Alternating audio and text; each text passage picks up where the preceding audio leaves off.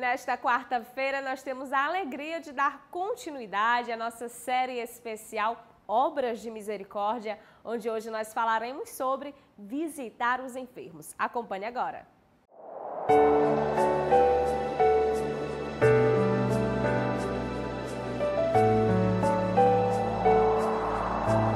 Eis que chegamos à nossa quarta obra de misericórdia, visitar os enfermos.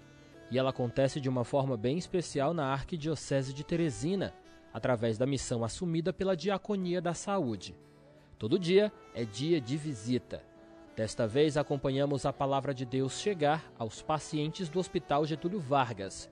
Mas os missionários católicos já estão presentes em 11 hospitais da capital do Piauí, tanto da rede pública quanto da privada. O objetivo é levar Cristo vivo aos que estão com saúde debilitada. O padre também concede a unção dos enfermos, um sacramento que não deve ser recebido apenas no leito de morte, mas em todas as situações que a fé necessita ajudar a recuperação do corpo. Visitar os doentes, a princípio, parece ser um ato simples, mas que contém uma grandeza ímpar. O próprio Jesus, ele o milagre que ele mais fazia era a cura dos doentes, era o cuidado que ele tinha com os doentes, ao ponto dele se identificar com um doente. Quem visita um doente está visitando a ele. Pequenas celebrações da palavra de Deus são realizadas. O corpo de Cristo também é entregue a quem estiver preparado para recebê-lo. Juntos, eles rezam e ainda se confraternizam. Os voluntários levam uma palavra de conforto e fé aos corações necessitados de Cristo.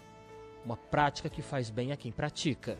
Quando a gente chega num outro dia para fazer uma visita e encontra aquele que estava acamado, triste, abatido, e encontra-o já sorridente, alegre, contente, nós ficamos muito gratificados, porque sentimos que a palavra de Deus agiu naquele coração. A direção do hospital não nos permitiu gravar com os pacientes, mas o diácono envolvido com a missão desde sua instauração, há três anos e meio, conta do alto de sua experiência com os enfermos, como eles recebem a visita e o amor de Cristo através de uma atitude fraterna.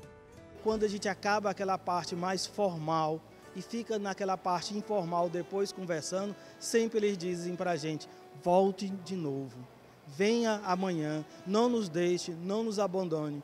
E isso mostra para a gente o valor e a importância que eles dão para isso. Esta voluntária também está no grupo desde o início. Ela nos conta por que tomou essa atitude de doar seu tempo, seu amor e sua atenção para o semelhante mais necessitado. O Senhor me chamou, primeiro ao serviço, porque eu me coloco como uma serva, uma serva infiel, que o que eu faço no final é o que eu deveria fazer. As visitas da Diaconia da Saúde acontecem diariamente. Há dias em que, além do contato nas enfermarias, missas são celebradas neste espaço. Tudo para que se instale a misericórdia de Cristo no meio hospitalar. Participar e contribuir com a execução desta obra de misericórdia em nossa arquidiocese é muito simples. Voluntários são sempre bem-vindos e devem se apresentar no próprio Hospital Getúlio Vargas.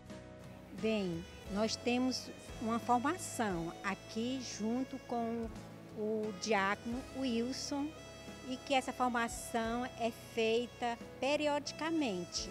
Toda qualquer pessoa pode participar.